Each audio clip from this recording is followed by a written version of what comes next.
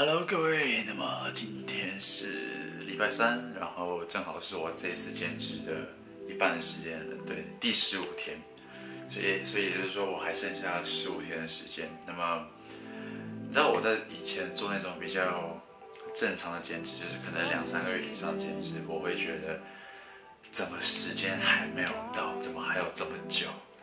对，这是我我以前做一般兼职时候的想法，然后的感觉。然后，这次是迷你课，我第一次做迷你课三十天，然后我就会觉得，怎么已经过了一半的时间，现在怎么过怎么过这么快？对，然后我只剩下十五天了，然后我就会想说，我有办法在目标时间第三十天内达到我要的目标吗？我就会想这些东西，就是两种非常不一样的想，不一样的心态，不一样的观念，所以也蛮好玩的。对，然后我昨天呢，昨天因为昨天晚上因为。就因为嘴馋，然后多吃了大概三百大卡的碳水化合物，对，所以呢，今天呢，我应该体重会稍微多一点点的零点二、零点三四公斤之类的。对，那么我昨天早上称体重是七十二点一公斤。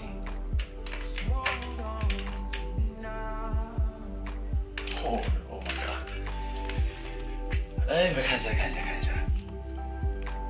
七十点八公斤，太夸张了！我我刚刚讲，我昨天早上是七十二点一公斤，然后昨天多吃了三百克碳水化合物，结果现在是七十点八，对，直接少了多少？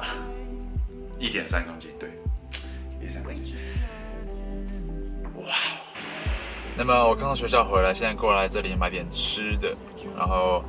今天礼拜三嘛，对，所以这个礼拜六我会去新竹，然后一直待到下礼拜二，然后礼拜三呢再去台北办点事情，对，应该是这样，有可能礼拜二就去台北了，现在不太确定，反正这是目前的计划，这目前安排是这样子的。然后这个周末呢，如果没有意外的话，我应该会收到三件 Pink 的样品，对我还蛮期待看到这三件衣服的。对，这大概就是这礼拜的基本上的安排。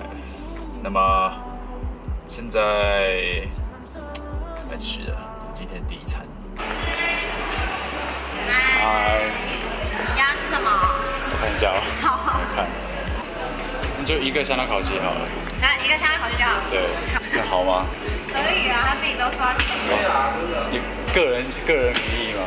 对啊。啊，那就美式就好了。冰的热的，冰的，冰的，对谢谢。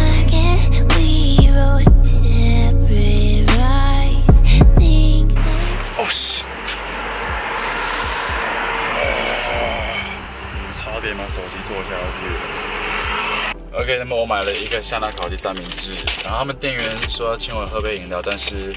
因为我在减脂嘛，所以我不想花太多、浪费太多热量在饮料上面，所以我就选了一杯美式。对，所以如果我没有在减脂的话，我应该会选抹茶拿铁。对，不过还是非常谢谢。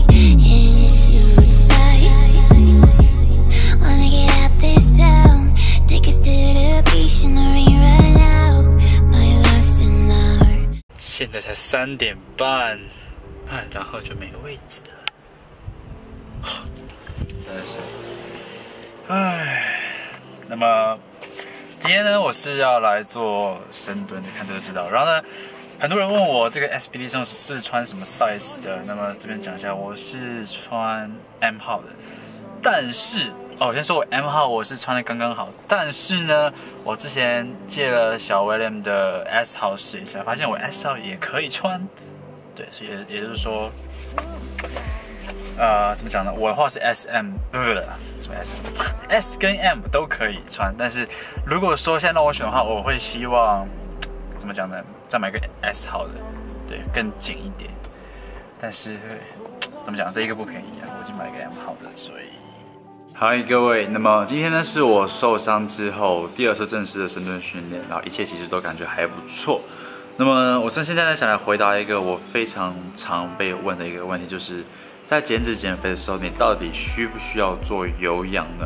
首先，对于我们大部分人，如果你的目标只是想要把体脂降到十趴、十二趴那种可以夏天脱光去海滩那种身材的话，你完完全全不需要做有氧。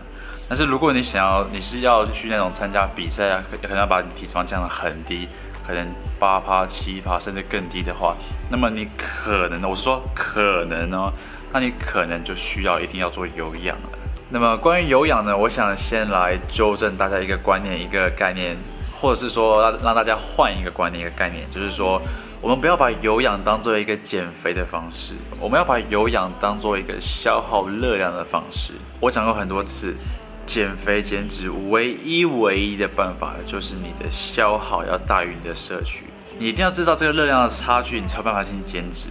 所以呢，要知道这个缺口的办法就是，要不然你少吃，要不然你多动，要不然你少吃又多动，对，只有这样子。一般来说呢，我会建议把这个热量差距控制在三百到六百大卡左右，对，这个因人而异。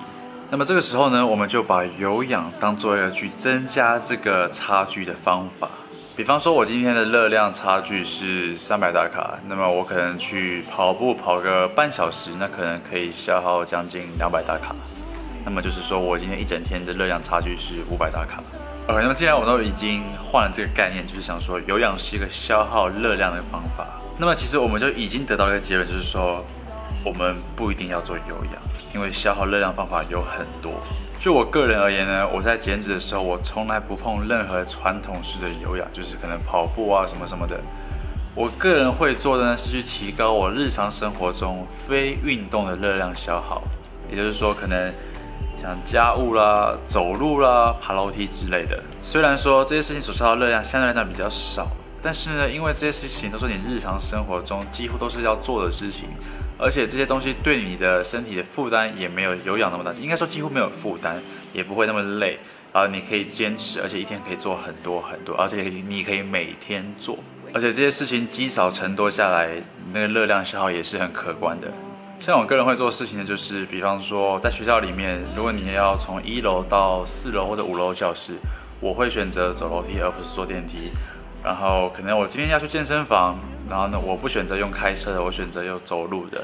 像我这边我家到健身房大约是过去二十几分钟，然后这样子来回加起来四五十分钟的路程。甚至逛街，这些都是消耗热量的方式。你这样子一整天下来，其实你消耗的总热量还是蛮可观的。之前的国外有个研究，就是说。有两组人，一组就是那种经常坐到办公室里一整天几乎没有什么活动量的人，另外一组呢就是那种经常到处跑来跑去啊，活动量非常大的人，不管是他们逛街还是跑业务什么的，反正活动量非常大的人。这两组他们所消的热量差距可以达到一千大卡以上，所以想想看，这样子平常日常生活中累积的活动量可以有多大的差距？所以呢，各位，我这里呢并不是说不准你们做有氧，让你们不要去做有氧。我只是想要给你们稍稍微一个新的概念，或者是说让你们转换一下概念，就是说有氧它只是这个消耗热量的工具，而消耗热量工具有很多很多很多种。OK，它并不是一个减肥减脂必须的东西。减肥减脂需要消耗热量，然后有氧呢是其中一个消耗热量的方式，一个途径而已。你可以学很多种方式，这些都是看你个人的喜好而已。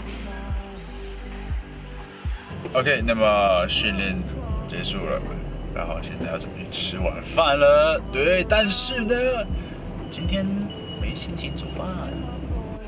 谢谢。